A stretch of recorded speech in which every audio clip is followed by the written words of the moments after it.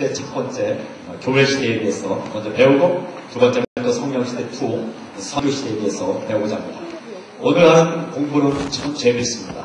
그리고 이 공부를 하게 되면 신학의 바울 서신과 또 일반 서신, 또 사도행전이 머릿속에 딱 잡히게 됩니다. 아, 이건 사실입니다. 여러분, 성경 공부는 쉽다. 시작. 오케이, 정말, 아, 그런가 한번 배워보도록 하겠습니다. 114페이지 펴십시오. 114페이지. 114페이지.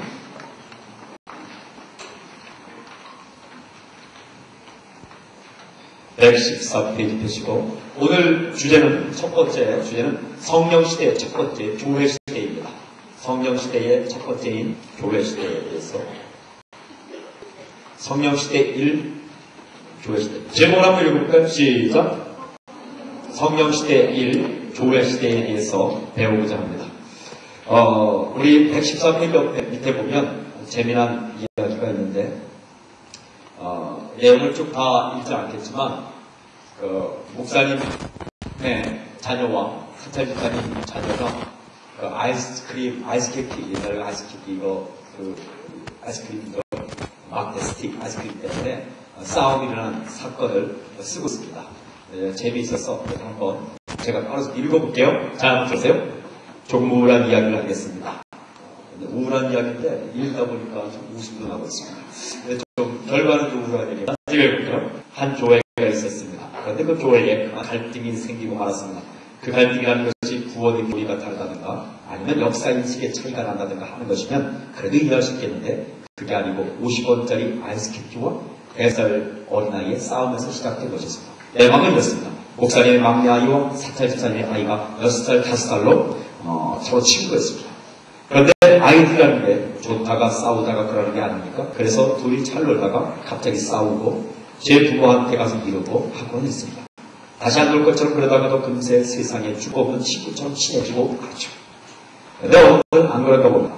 겉으로는 늘 좋은 척하지만 속으로는 섭섭했던 것을 수도 없이 쌓아놓고 때로 꺼내보면서 혼자 생각 속에서 분노하고 안보를 흉보고 그런 경우가 많이 있죠.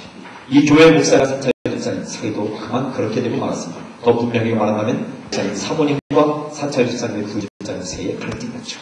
한쪽은 상대방에 대해서 건방지고 불안하다고 생각하고 있었고 한쪽은 상대방이 교만하고 자기를 없음여긴다고 생각을 했습니다.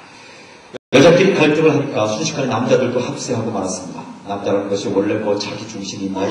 오직했으면 남자는 다 여자하기 나름이에요. 라는 광고 카피까지 나왔겠습니까? 그러다 어느 여름 그만 일이 터지고 말았습니다. 목사님 아들이 아이스케이크를 먹고 있는데 사찰 집사님 아들이 달라졌습니다. 아이들이 아무리 목사님 때 아이여도 목숨을 줄 정도로 아이스케이크를 주나요? 안 주지. 그래서부터 다 먹어버리고 그 속막대기를 버렸습니다. 너무 먹고 싶었던 사찰 집사 아들이 그 버린 속막대기를 주셔서 빨아먹은 것이 문제의 시작입니다. 거지처럼 왜 그런 것을 주워 먹냐? 너도 사주겠다. 자기 아들 입만 생각하는 게 무슨 사업이야? 그럼도 쌓인 분노를 막 쏟아내며 쏟아내며 아이를 야단치는 사찰 부인 집사님의 혼잣말이 지나가던 사모님의 귀에 들어가면서 사건을 커지기 시작했고 봐봐봐 이렇게 시작된 갈등에 온 교회의 갈등이 겹치면서 총연합 전선을 펴게 되고 교회는 갈라져서 서로 상대방을 마귀의 자식을 몰아붙이며 어, 타협없는 싸움으로 시작하고 말았습니다. 경찰이 동원되고 법원까지 가고 더 이상은 창피해서 말 못하는 시간까지 갔죠. 뭐 그런 이야기들. 그래서 믿주세요. 슬며시 질문이 하나 생깁니다. 질문. 함께 읽어볼게요. 이렇게 문제가 많고, 시작. 이렇게 문제가 많고, 때로 수준 이하의 자태를 벌이는 교회가 많은데 또 꼭 교회는 있어야 합니까? 믿주세요. 꼭 교회는 있어야 합니까? 거기다가, 아, 예! 라고 크게 써보세요. 여사님 물어봅시다. 꼭 교회는 있어야 합니까? 시작. 대답해보세요. 예, 있어야 합니다. 네? 아, 할렐루야. 그 다음에 교회 중심으로 신앙생활을 해야 합니까? 네. 예, 해야 됩니다. 그때 분명히 돼요. 제가 물어볼게요. 교회 중심으로 신앙생활 해야 됩니까? 예. 할렐루야. 예. 그래서 제가 이렇게 이에 대한 주님의 대답은 그렇다. 있어야 하고 해야 한다. 왜냐하면 주님 께서 그 남은 사역을 교회에 외에 다른 어디 누구에게도 주실 일이 없으시며 주님께서 교회를 위해 다른 곳을 위해 향해 당신의 몸이라고 말씀하신 적이 없기 때문입니다. 그래서요, 그래도 교회는 세상의 소망입니다. 교회가 소망이고 교회 중심으로 살아가고 교회를 주님께서 축복하셨다. 그러니까 우리가 교회에서 배우는 것은 신앙이죠. 믿음이죠. 그죠? 믿음. 근데 이 믿음과 하나님이 부여하신 이성이 어떻게 조화되는가? 아, 다음 이번 주부터 박담일 목사님께서 신앙과 이성이란 그 제목으로 세미나를 목요일 저녁 하게 됩니다. 여러분 우리가 다음 주에 종강하게 되죠? 종강하면 그 강의를 다 들으시고 저는 축복합니다. 그래서 이 교회의 소망이 아니 세상의 소망이 교회인데 어떻게 신앙과 이성이 어, 이렇게 잘 조화하며 교회가 세상의 빛으로 세상의 소금으로 나아갈 수 있냐 이 강의를 이번 주부터 하는데 여러분을 위해서 이번 주는 강의를 나가지 않고 다음 주부터 다음 주 끝나자마자 딱 등록하면 다 등록될 수 있습니다. 그래서 제가 우리의 박감의 목사님을 모셨습니다. 박수를 맞이하는 잠깐 광고를 듣고 하겠습니다. 박수 한번 주겠습니다. 박 목사님, 제가 형님처럼 좋아하는 목사님인데 그 신앙과 인성 좀 광고를 좀 해주십시오. 마침 교회인데 교회가 능력 영향 있는 교회가 되기 위해서 세미나 광고를 해주시면 잘 듣고 신청하시기 바랍니다. 네, 감사합니다. 아, 이렇게 저녁에 오셔서 열심히 이렇게 공부하시는 모습을 보니까 참 우리 어, 우리 교회뿐만 아니라 우리 사회가 아주 밝은 밝아지는 그런 모습을 보는 것 같습니다. 어, 신앙과 이성 강좌는 여러분들이 지금 이렇게 성경 공부를 어, 하시고 하셔서 성경에서 뭐라고 말씀하고 계신가를 배우는 이 과정이지만 신앙과 이성은 그것을 우리가 이성적으로 어떻게 이해할 수 있는가 여기에 대해서 좀 깊이 있게 우리 생각 체- 체계와 그리고 성경에서 말씀하시는 그 논리를 우리가 이성적으로 어, 이해해보고 풀이하는 이런 어, 작업을 하게 됩니다. 여러분들이 이렇게 믿음 생활을 하시면서 어, 의심하는 것들이 있을 거예요. 아, 그 성경에서 이렇게 얘기했는데 도저히 이건 어떻게 믿어지지가 않는다. 또 논리적으로 이것을 잘 이해하기가 힘들다. 또 내가 이건 남한테 설명하려고 하니까 너는 성경을 믿으니까 그 이해가 되지만 나는 성경 안, 안 믿으니까 내 원리대로 한번 나한테 설명을 해봐라. 이런 질문을 많이 받을 거예요. 이렇게 그 전도를 하시면 그런 질문을 많이 받을 때마다 여러분 자꾸 말싸움을 하게 되고 당황하게 되고 또 힘들게 됩니다. 그, 그럴 때마다 그렇게 하는 건 괜찮은데 여러분 신앙이 또 흔들리게 돼요. 왜냐하면 그쪽에서 물어보는 질문이 굉장히 정당성을 가진 질문을 많이 물어볼 때가 있어요. 근데 여러분이 답은 어때요? 신앙이 어떻게 존재하느냐 하면 네가 증명을 해봐라. 어? 이론적으로 얘기를 해봐라. 이렇게 얘기할 때 여러분 막막해요 그냥. 아, 성경에서 이렇게 말씀하시니까 이렇게 얘기하는데 그럼 불교 믿는 사람은 어 불교에서는 그렇게 얘기하는데 네, 그럼 여러분이 할 말이 없어져. 이런 것들. 그 다음에 성경 내에서 어, 얘기하는 것 아, 그래요? 아, 짧죠. 예. 그래서, 예.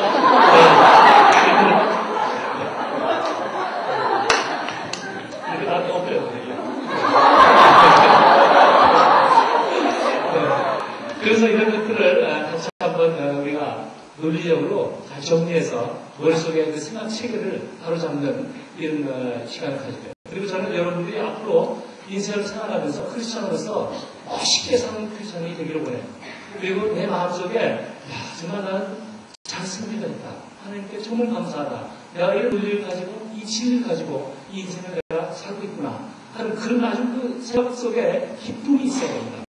그렇지 않고 크리스찬인데 어디 가서 학교에 와서 중간 파티 하는데 구석에 앉아가지고 여기 나는 안 되는데 뭐 이런 생각이 하고 앉아있으면 뭔가 좀 이렇게 비루해지고 내 자신이 초라해지고 이렇게 좀 아, 이거 정말 괜찮을까? 이런 생각이 들 때가 있어요. 그럴 때 여러분 그런 것들을 하나하나 내 이성적으로 이해가 되면요 어디 어디 어디 가서든지 자신이 생깁니다. 그래서 그런 삶을 어, 여러분 어, 준비시키기 위해서 그런 작업을 우리가 같이 할 겁니다. 12주 있을 때 이것이 오늘 사실 시작하게 됐는데 우리 남사님이 이 class를 위해서 제발 좀 한 주만 좀 연기해 줬으면 좋겠다. 그래서 어, 저희들이 지금 어, 모여 있는데 introduction 서로 하고 그러시면 오늘 어, 끝내야 됩니다. 그리고 다음 주에 여러분이 끝나시고 그다음 어, 언제죠? 오늘이 6, 13, 20일 날, 20일 날부터 오셔가지고 어, 그것은 어, 현장에서 그냥 등록하시도록 제가 거기서 어, 어, 물건을 만들어놨어요. 그 공부를 여러분과 같이 한 12주 하면서 여러분들 마음속에 정말 그 복된 크리스찬, 자신 크리스찬, 멋진 크리스찬 이런 그 준비를 어, 하게 되기를 주님으로 축원합니다. 아, 우리 목사님은 그, 이거 그 바이올라 대학에서 그 종교 비교, 비교 종교, 비교 종교 전공했습니다. 그리고 신화가 이성이라는 정말 재미있고 해야 할 학문입니다. 오늘 변증학이 사라졌는데 기독교가 진짜 진리라는 것을 변증해야 된다. 보자 이제 변, 변증해야 되는데 그것들이 많이 사라졌죠. 그런 것들을 끝까지 가지고 나가야 된다. 근데 우리 박다희 목사님 좀 멋있는 분입니다. 그래서 갑자기 사천식에 당신은 하고 네, 목사님과 제가 이제 사계 기도를 매일 인도하고 있습니다. 그런데 목소리가요 정말 기가 막힙니다. 천년에 한 번 날까 말까 그래서 어, 너무너무 제가 안 할 정도로 예, 자동차를 모시면서 쫙 2차에서 올라오는데 당신은 누구시길 하는데요. 저는 비교가 안 될 정도로 너무너무 잘합니다. 박수 한번 치겠습니다. 이 노래는 그 원래 그 아니 이 노래 부르는 처음 이렇게 근데 이거를 어, 주님을 생각하면서 여기 가사를 잘 읽어요 당신은 누구시길래 이렇게 내 마음 깊은 곳 위에 찾아와 어느새 촛불 하나 이렇게 밝혀놓으셨나요 어느 별 어느 하늘이 이렇게 당신이 밝혀놓으신 불처럼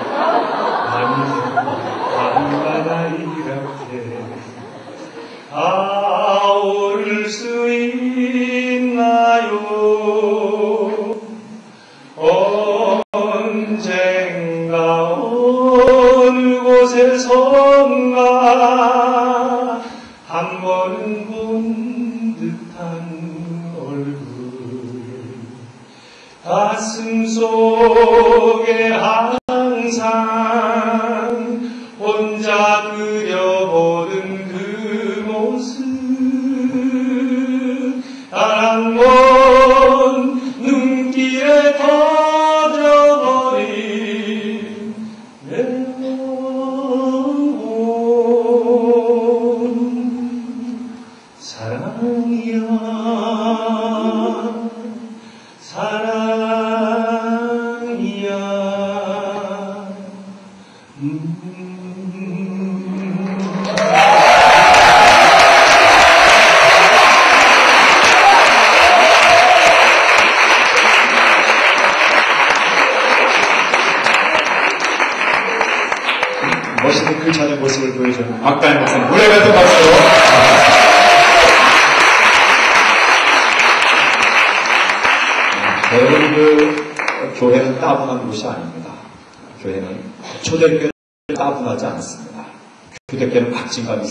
생명력이 있었고 세상을 향해 대답을 줄수 있는 교회였고 세상을 향해 방향을 해서 기- 기- 길을 제시하시는 교회였죠. 저는 여러분을 통해서 그런 생명력이 있으며 세상을 향해 대답이신 예수 그리스도를 전하는 놀라운 역사가 있는 영향 있는 교회가 되기를 저는 축복합니다. 매력 있는 크리스천이 되기를 저는 축복합니다. 바로 우리가 다시 써야 할 교회 시대입니다. 매력 있고 영향력 있고 세상에 대답을 줄 수 있고 물러서지 않으며 당당히 나아가는 아, 그러면 초대교회가 어떻게 나아가는지 계속해서 배우도록 하겠습니다. 할렐루야. 이렇게 중간에 딱 맞아 떨어졌나요? 115페이지 보세요. 오늘 교회에 대해서는 성경시대 처음에 교회 시대에서는 네 가지로 요약할 수 있지만 첫 번째는 교회의 탄생. 다 같이 한번 읽을까요? 시작. 교회의 탄생. 시작. 교회의 탄생에 대해서 배우고자 합니다. 두 번째는 그 교회가 어떻게 성장했는가. 교회의 성장에 대해서 배워보도록 하겠습니다.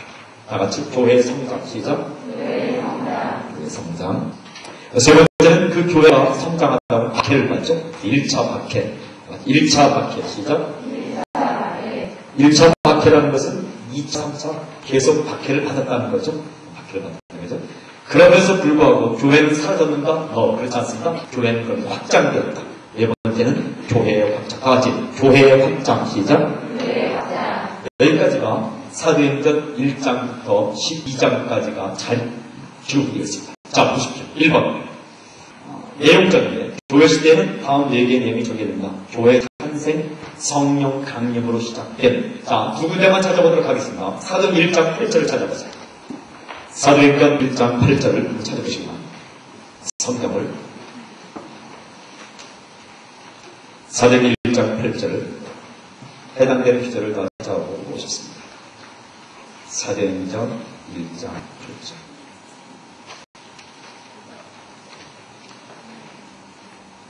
사도행 1장 8절 한번 읽어볼까요? 오직 성령이 너에게 하시면 시작 오직 성령이 너에게 하시면 너희가 권능을 받고 예루살렘과 온 유대와 사마리아 끝까지로 내 증이 되리라 하신다.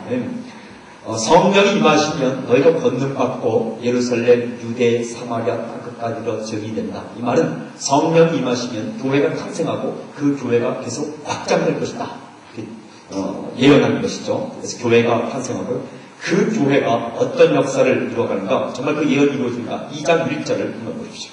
2장 1절 2장 1절입니다. 제가 읽을게요.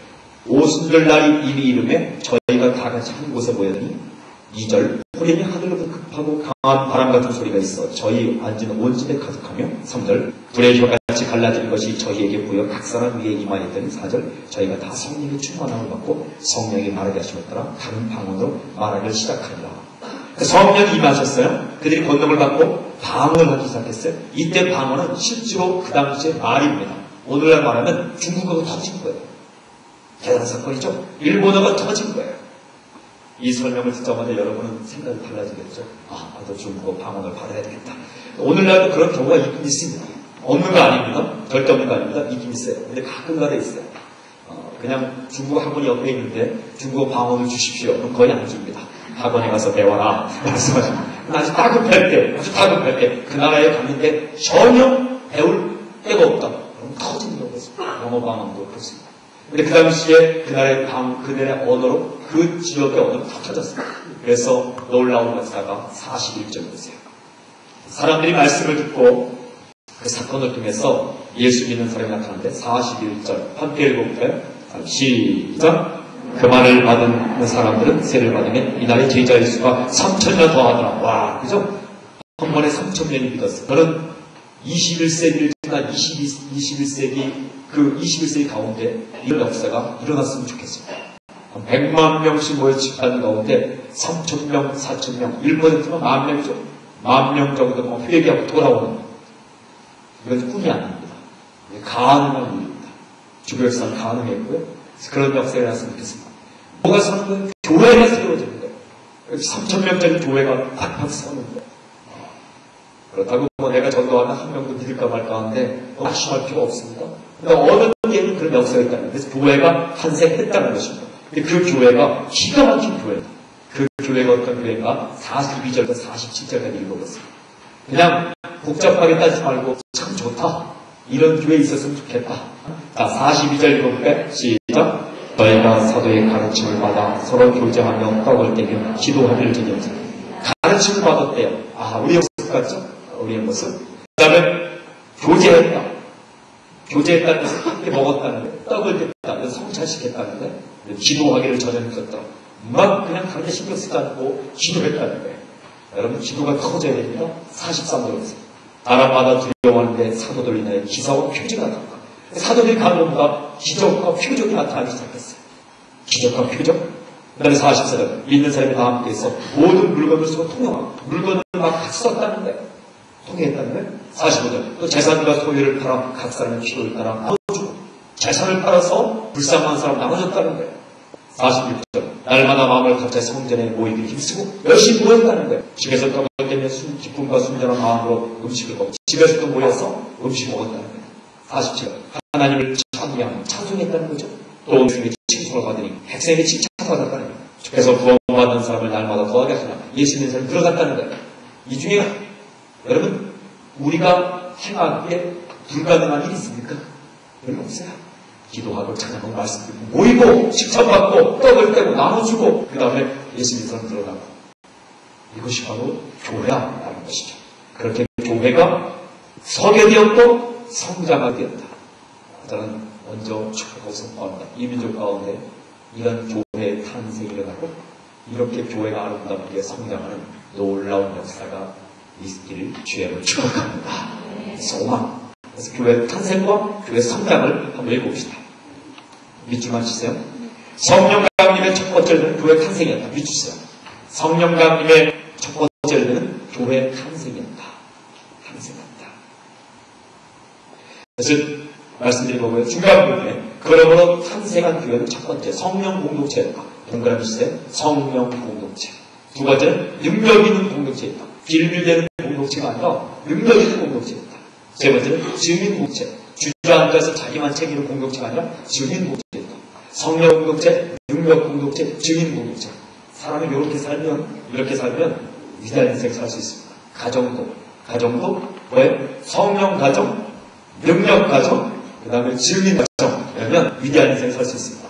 애인을 만나더라도 성령 커플, 능력 커플, 쓸데없는 능력은 남 때리지 말고 그 능력으로 다른 사람 전환시키고 그 다음에 증인 커플 만나서 10분의 1 정도 시간은 전도하는 데 함께 하는 거예요. 추우면 옷도 벗어주고 너무 멋있잖아요. 따라볼까요? 성령 커플, 능력 커플, 증인 커플 시작. 이 좋은 말들 누가 다 가져갔어요? 이단들이 다 가져갔어요. 성령, 능력. 우리가 되찾아야 합니다. 성령 커플, 능력 커플, 증인 커플.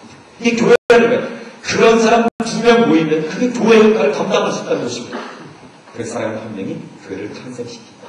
가정도 마찬가지고 너무 놀라운 사실입니다. 어, 제가 일본을 좋아합니다. 저는 지금 일본을 싫어한다고 생각하지 마세요. 일본. 그런데 일본을 기도합니다. 근데 은연 중에 제 마음속에 아직도 일본에 대한 그렇게 막 좋아하지 않는 제가 다른 것을 좋아하면 저는 막 거품 물고 좋아하는 겁니다. 우리 아이들이 보면 거품 물고 좋아해요. 좋아하는 음식을 보면 너무너무 좋아하고 사람들 좋아하고 박수 치고 막 그러거든요. 근데 일본 얘기 나오면 좋아 이렇게 하는 걸 우리 큰아이가 봤어요. 그랬더니 지난주 설교가 로나 설교 아닙니까? 로나. 갑자기 내 아내한테. 엄마, 엄마, 아빠는 그 요나에게 말한 것처럼 아빠한테 일본 선교하라 그러면 어떻게 하려고 그러지? 리노에 가려면 다시 쓰란 요나처럼 일본으로 가려면 안 가려고 그러나? 안 그러잖아요. 그러니까 어, 근데 그런 생각을 하는 자녀를 둔다 얼마나 또 감사한 거니까 성령 가정 성령 부자 아 이게 능력 부자 그 다음에 이 증인 부자 날 갑자기 와서 내가 오늘 드디어 전도했어. 전도한 그가 안 오니까 아빠 내가 그의 차비까지 줬어. 안 올 것 같아서 내가 교회에 차비 줬어. 이야 대단하잖아요, 그죠? 어, 우리 말에 그런 거 있죠. 부전가전이나. 성령 커플, 능력 커플, 지금. 그게 교회였어요. 교회는 성령이 역사하시고, 지민의 삶을 살고, 능력이 있는, 정말 파워있는 그런, 그 러면 성장하는 게 있어요. 2번 보세요.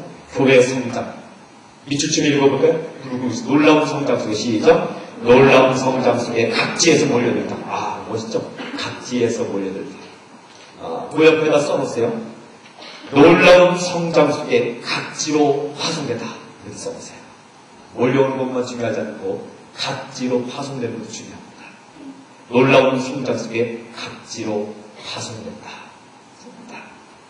제가 읽을게요. 베드로를 비롯한 사도들의 빛으로 하루에 3천명 혹은 5천명씩 회개하고 돌아오고 교회는 놀라운 성장을 이루기 시작했다. 이때 이야기를 정리하면 다음과 같다. 1번 한참 읽을까요? 시작! 사도들의 메시지는 예수가 부활하셨고 그가 그리스도이시다 하는 것입니다.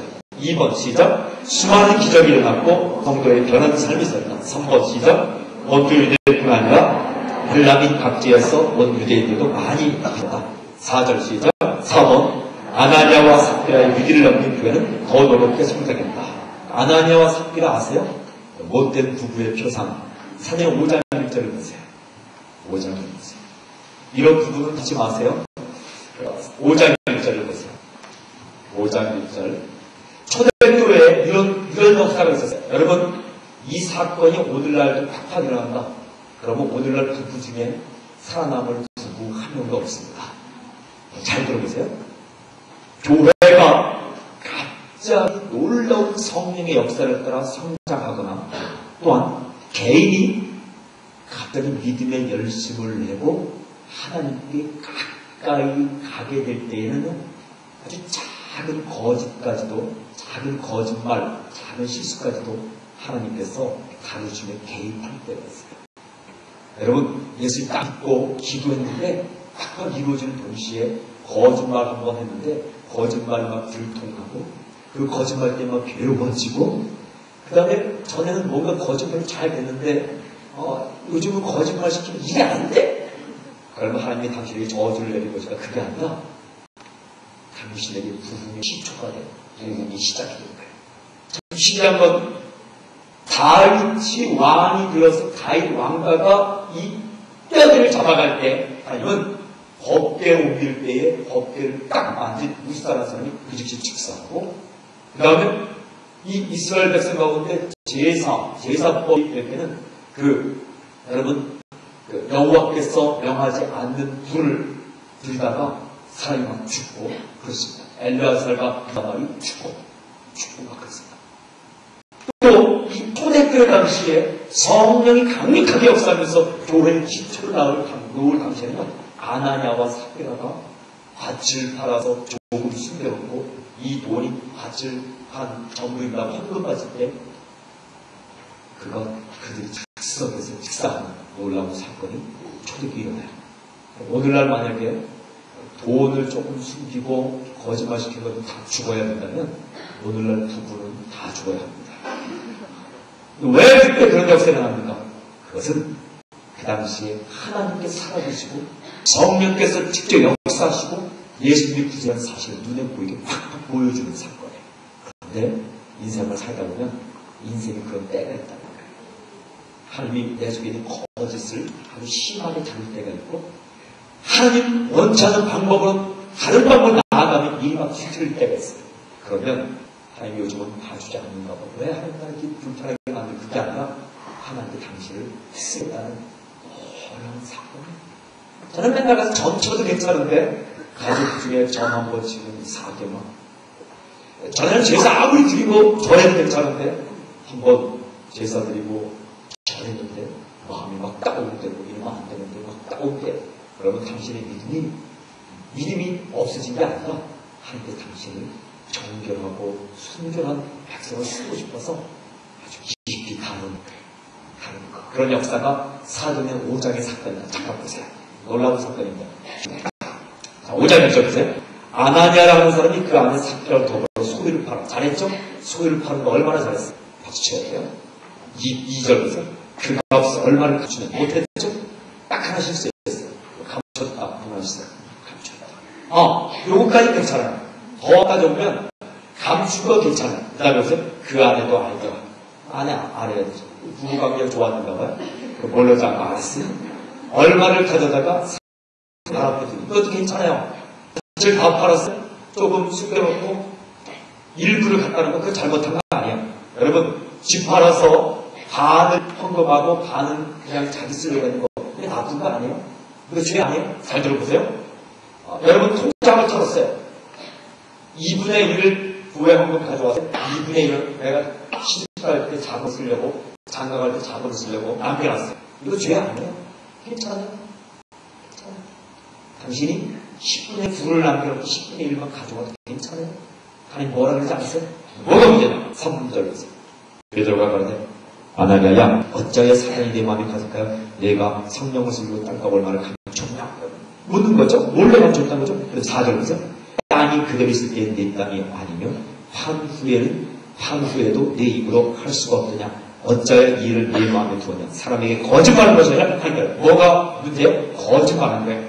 몰래 감추고 그가 와서 뭐라고 얘기했다는 거예요? 땅값 전부입니다. 거짓말 시킨 거예요 거기서 5절 보세요. 아나니아가 이 말을 듣고 엎드러져 혼이 떠나니 이를 사람이 다 크게 놀라니 젊은 사람이 일어나 시신을 싸서 내고 나가 장사하고 일단 그 자리에서 죽었어요.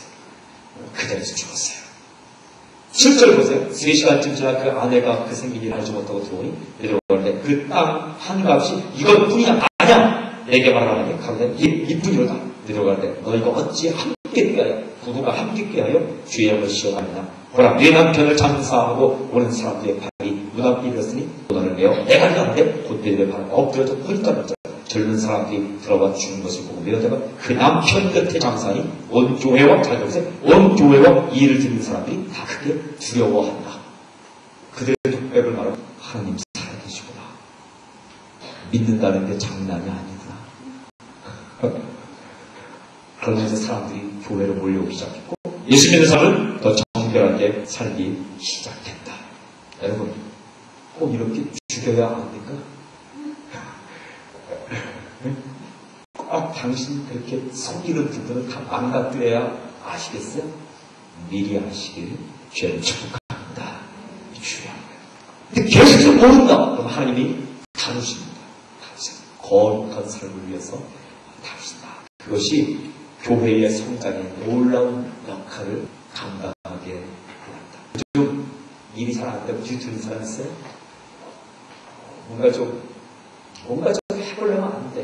예를 들면, 잘해보려는 게 아니라, 아, 그, 이제 전철을 타려고 하는데, 전 늦었어. 시간이 됐어. 그래서 막, 그, 그러니까 신호등도 막 어기고, 막 가서 신호등도 어기고, 새치기도 하고, 양해도 안 하고, 새치기 하고, 그냥 전철도 표 안 끊고 딱 뛰어넘어서 너무 급해서 탁 탔어요.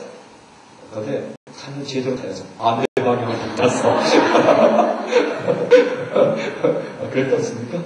아, 그럴 때 있죠? 어, 그럴 때 있어요. 어, 그러니까, 그러면, 어, 그런 거죠.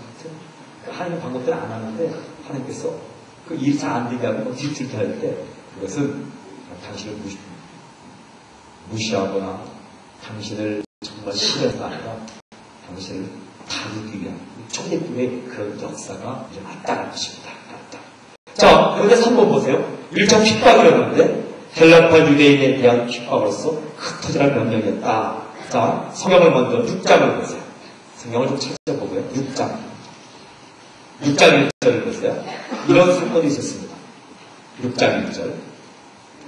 그때의 제자가 더 많아졌는데 더 마- 제자가 많아진 건 감사한 일이죠. 믿으세요. 제자가 더 많아졌다. 좋은 겁니다. 헬라파 유대인들이 자기의 과부들이 그 매일 구제에 빠져서 히브리 사람들을 원망한다. 그러니까 두 종류의 유대인들이 있어요. 헬라파 유대인, 히브리파 사람들. 무슨 얘기냐면 어, 다른 곳에서 살다가 다른 곳 살다가 들어온 헬라파, 이방인파 유대인이 있고 또한 본토에 살던 본토 유대인이 있었어요. 그들이 본토에 살던 이스라엘 땅에 살던 사람도 예수 믿고 돌아다니던 사람도 예수 믿고 예루살렘 교회에 있는 거예요. 그런데 무슨 사건이 나냐면 헬라파 유대인들 돌아다니다가 예수 믿고 들어온 사람들이 구제에 빠졌다. 이 말은 뭐냐면 도움을 받는 대상이가 제되었다. 사람들이 본토 유대인들에게만 먹을 걸 주고 구제를 주고 각지에서 각처에 살다가 들어온 유대인들에게는 예수 믿는 사람에게는 먹을 걸 주지 않았다. 불평이 생기죠. 먹을 것 때문에 원망이 생기죠. 2절 보세요. 열두 사도가 모든 제자를 불러이르되 우리가 하나님의 말씀을 지켜놓고 공개를 일삼는 것이 마땅치 않으니 형제들아 너희 가운데서 성령과 지혜가 충만하여 칭찬하는 사람 일곱을 택하라. 우리가 이 일을 저희에게 맡기고 그래서 일곱 명을 택했죠. 일꾼을 택했죠. 택했더니 어떤 역사가 일어나는가? 여러분 7절 보세요. 7절. 함께 읽어볼까요? 7절. 시작. 하나님의 말씀이 점점 왕성하여 예루살렘에 있는 제자의 수가 더 힘이 많아지고 허다한 제사장의 무리도 이 도에 복종하니라. 놀라운 사건이 났죠? 문제가 발생되었고 그 문제를 지혜롭게 잘 해결하니까 더 부흥이 일어납니다. 따라할까요? 문제는 기회다. 시작. 교회사를 연구해보면 문제가 없던 시대가 없었습니다. 존재는 문제가 있다. 아, 소설 제목인가요? 그 존재는 눈물을 흘린다. 문제. 아, 존재는 문제가 있다. 여러분, 살아있는 존재는 문제가 있습니다. 어, 다르게 말하면 시체는 문제가 없다. 여러분, 성장은 문제가 없습니다. 성장을 봤어요? 뭐 사람 성장 말고 고양이가 죽어 있다. 네, 마네킹, 마네킹이 있다. 마네킹이 딱 있어요. 마네킹인데 마네킹을 이제 가을에서 겨울로 올라 저, 넘어갈 때는요 옷을 갈아입힙니다. 옷 벗은 마네킹 봤어요? 그 보기 있습니다. 딱 있는데 이렇게 있는데 그 마네킹을 옷을 벗어놓고 또 그걸 추운 겨울날 옷을 갈아, 마네킹 옷을 갈아입히려고 추운 겨울날 밖에 내놓습니다. 팬츠도 안 입히고. 추운 데인데, 마네킹이 문제를 내니까, 아, 지금 어떤 마네킹 봤어요? 그리고, 어, 지금 피해 가지고 가리는 마네킹 봤어요? 아니요. 남들이 아무리 봐도 창피도 몰라. 문제 없어. 그리고, 영하 20도가 내리가도 문제 없어. 얼마나 담대하고, 얼마나 튼튼하고, 얼마나 건강한지 문제가 없어요. 문제가 없어요. 그 마네킹은 여러분, 마네킹은 남자만 쫙, 남자 리바이스 같은데 남자만 마네킹을 쫙 하면 그 마네킹 문제 없어요. 외로움을 탑니까, 마네킹? 어, 옆에 있는 그 옆집에 있는 마네킹을 막 해서 조금 움직입니까? 여러분, 마네킹은 10년간 혼자 서 있어도 문제 없어요. 여자만 서 있으면 문제 없고 남자만. 더군다나 남자 여자 앞에 서라도 10년간 문제 없어. 아무런 문제가. 갑자기 남자 마네킹 여자 마네킹 서는데 그 옆에 갑자기 10년 뒤에 아기 마네킹이 되었다 이런 경우가 없어. 여러분, 여러분 죽으시죠. 근데 살아있는 존재는 항상 문제가 있어. 존재는 문제가 있어. 교회가 문제가 있다는 것은 살아있는 유기체 생명체이기 때문에 어찌 보면 이방 종교나 사이비 종교는 교회보다 문제가 더 없어요. 사이비 종교의 문제가 터지는 나라 그 사이비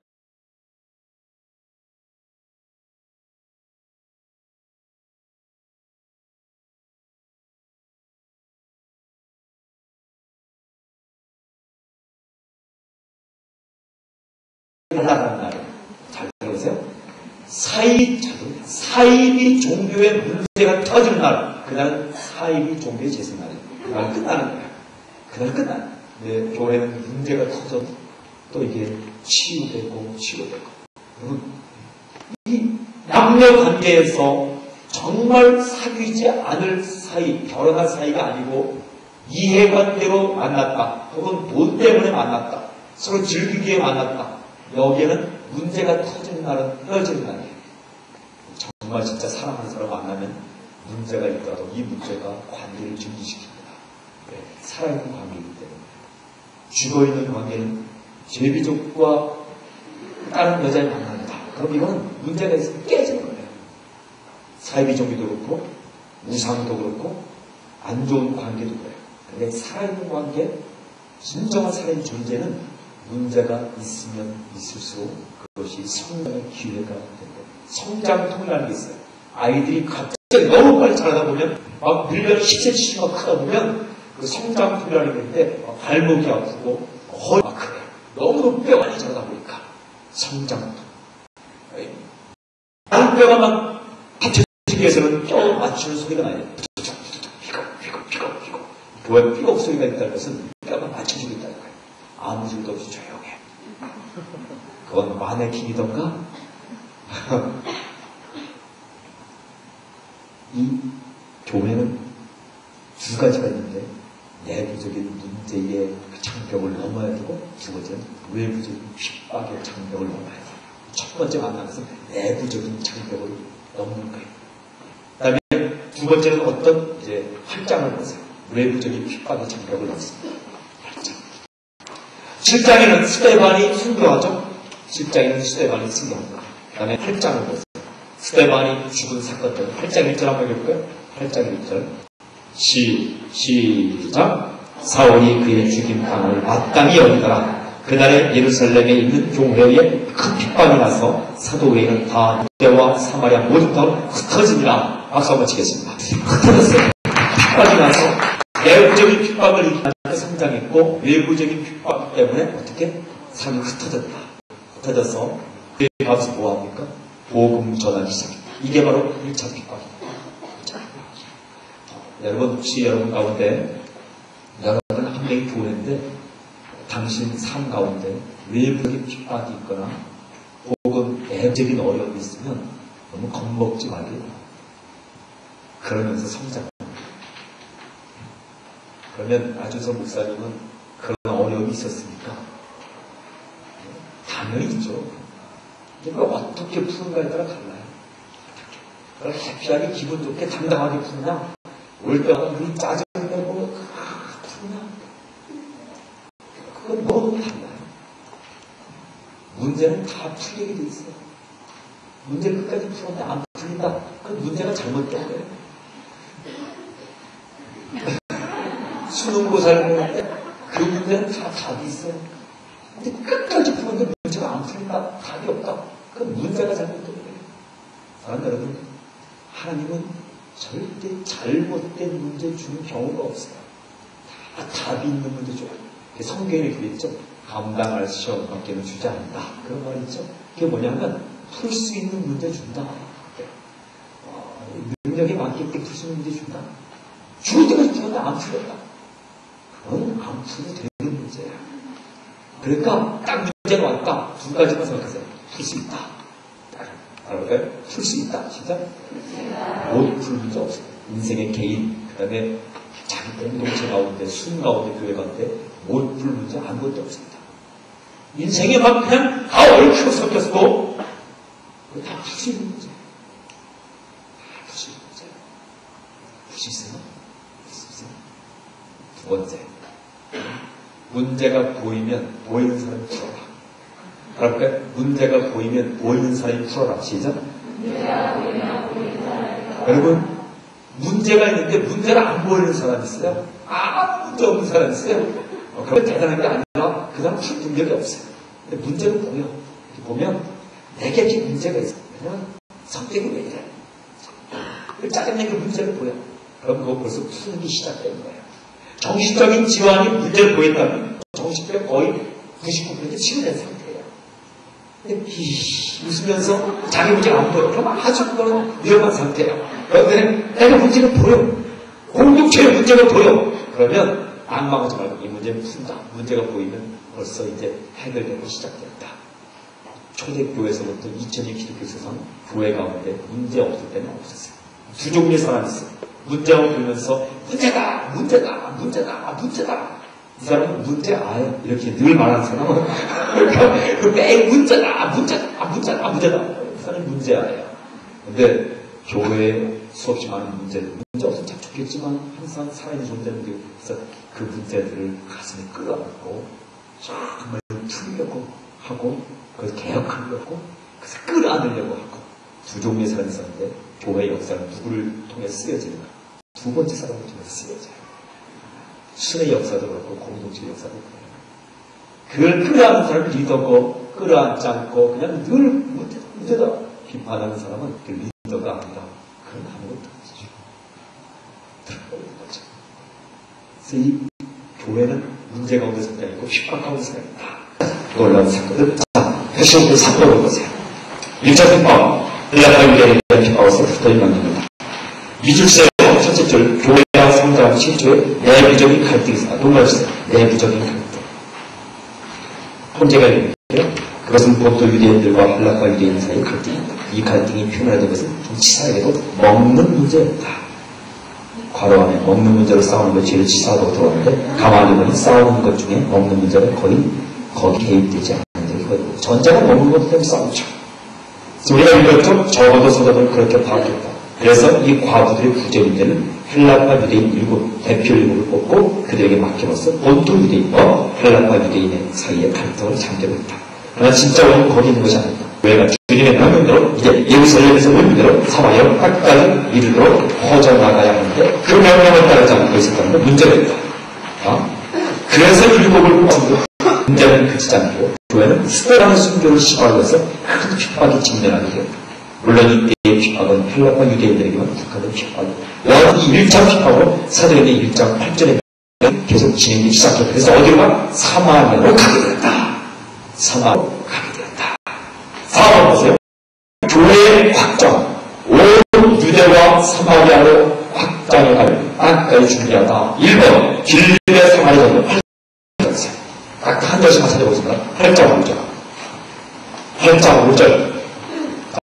8장 5절 시작 빌립이 사마리아 성에 내려가 그리스도를 잡고 아, 이 빌립은 제자 빌립일까요? 일곱 집사 중에 빌립일까요? 일곱 집사 중에 한 명이 빌립입니다. 빌립이 사마리아 가서 전도했다. 잘했죠? 유대인이 안 가는데 이 남, 이 본토 유대인들이 예루살렘에 있던 유대인이 안 가는데 빌립이 갔다. 2번 베드로의 온 유대 전도에 8장 14절을 보십시오. 8장 14절. 예루살렘에 있는 사도들이 사마리아로 하나님의 말씀을 받았다 함을 듣고 베드로와 요한을 보내면 그들이 내려가서 저희를 성령 받기를 기다니 17절 이에 두 사도가 저에게 안수하며 성령을 받는지라 놀라운 역사가 일어나요.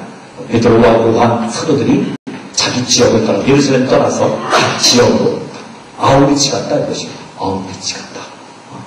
아, 너무 멋있죠? 본토에 문제가 있지만 성장을 시작하고 하나님 핍박을 말면서 또한 여러 가지 말면서 아우리치 갔다. 3번 사울의 회심과 성령 이 가운데 위대한 한 사람이 대종하기 시작합니다. 사울 사도행전 9장 1절이죠. 사도행전 9장 1절 같이 읽어볼까요? 시작 사울이 그의 제자를 대하여 여전히 위협과 살기가 등등하여 대대생에 가서 2절까지 읽겠습니다. 시작 대생이가 우리 땅에 갈 공문을 정하니 이는 많은 그 돌을 쫓는 사람을 만나면 물론 남동하고 결막하여 예루살렘을 잡아오려 함이라 사울이 변했다 1절을 이렇게 번역할 수 있습니다. 제가 번역해 볼게요. 사울이 주의 죄를 대하여 여전히 씩씩거리며 그들을 잡기 위해 대생에 가서 사도 바울 마음속에는 열정이 있었어요. 근데 그가 담에서로 가다 변하죠. 이거 위대한 사건입니다. 위대한 사역자 한 명이 탄생한 이 사도의 구장 사건은 19장 이후에 엄청난 놀라운 사건을 얘기합니다. 한 명이 제대로 바뀌는 사건이 교회사에서 중요하다. 여러분이 예수 믿는 사건 때문에 사탄이 벌벌 떨리고 저를 축복합니다. 놀라운 사건이야.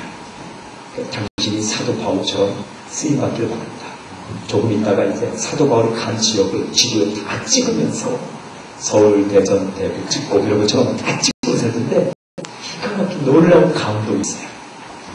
감동이 있어요. 저도요, 다시 준비하면서 형광펜을 그리면서 다 찍어서 성경 왔어요. 또 다른 감동이 있더라고요. 늘 했는데도 또 다른 감동이 있어요. 한 명이 사람. 뭐 제가 축복할게요. 당신이 회심한 사건이 사도 바울의 회심한 사건과 맞먹기를 주야로 축복합니다. 할렐루야. 보세요. 그렇게 됐다. 그 다음에 4번 베드로의 베드로와 고넬료의 만남 사도행전 10장이고요. 5번 안디옥 교회 설립 자 사도행전 11장 26절이세요. 사도행전 11장 26절 이 안디옥 교회가 대단한 교회입니다. 사도행전 11장 26절 사도행전 11장 26절 함께 읽을까요? 시작 만남의 안디옥에 데리고 와서 둘이 교회에 1년간 모여 있어 큰 걸 가르쳤고 제자들이 안디옥에서 비로소 그리스도인이며 일컬음을 받게 됐다. 두 사람은 누굽니까? 바나바와 바울. 착한 사람 바나바, 불같은 사람 바울. 그럼 바울은 착한 사람이 아니었나요? 아니요. 바울도요, 정말 착해요. 여러분들, 바울 서신을 제가 읽고 있는데, 바울이요, 아주 좀 엉뚱한 사람이에요. 그러니까 좋게 엉뚱해요. 오늘 축제 본문 읽어보면요, 바울이 막 논리적으로 집사님, 감독, 직분 이야기하다가, 왜 그런 사람 있잖아요. 막뭐 이야기하다가, 곁으로 막 삐져나가면, 곁까지 이야기를 더 흥분해서 이야기하는 사람. 어디로 돌아올지 모르고 자꾸 삐져나가는 사람. 바울이 그런 사람이에요. 오늘 큐티본 보니까 막 이야기하다가, 교회 이야기하다가, 교회를 흘려서 막 이야기하다가, 갑자기 예수만 이야기하다가, 그 다음에 이단 이야기하다가, 아, 그래. 그래. 그러다 크다 경건의 비밀이야 아니야. 그게 무슨 얘기 무릎을 탁 와, 위대한 진리야. 막 그러는 거야. 그래서 사도 바울 논리적인, 논리적인 것 같아도 그 논리적이지 않을 때가 참 많아요. 그래서 거품을 물고 막 그냥 하는 거죠. 그러다가 주님을 찬양하려다 막 그래. 그 뭐냐 하면 편지 쓰다가 갑자기 주님을 찬양하려다 막 그런 거예요. 오늘날 말하면 막 설교하다가 찬양하다가 거품을 물고 갑자기 뭐 다른 설교하다가 교회에 나오니까 대해서 막 이야기하다가 다시 돌아와서 막 하고 막 그러는 거예요. 그러니까 좀 순진해요. 저는 요즘 바울을 순진 어떻게 순진하냐면 막 이야기하다가 너희는 나를 본받더라. 떠날 때도 나는 나는 할, 할 일을 다 했다. 뭐 이야기하면 그러면서 이 바울의 순수스러움과 바나바의 그 아주 차근차근 하는 것이 둘 다 착한데 딱 맞아떨어지면서 안디옥 교회가 막 성장하기 시작했다. 그런 놀라운 역사가 안디옥 기습니다. 여러분 그런데 신기한 게 있어요. 안디옥 교회의 놀라운 성장이 선교의 역사로 이루어지기 시작하는데 안디옥 교회가 어떻게 바나바와 바울을 파송하고 또한 그 바나바와 파- 파송된 바나바와 바울이 어떻게 선교한가는요 이렇게 그냥 성경만 읽어보면 머리에 잘. 그래서 지도를 딱 갖다 놓고 딱딱 찍으면서 보면 머릿속에 싹 남게 되는데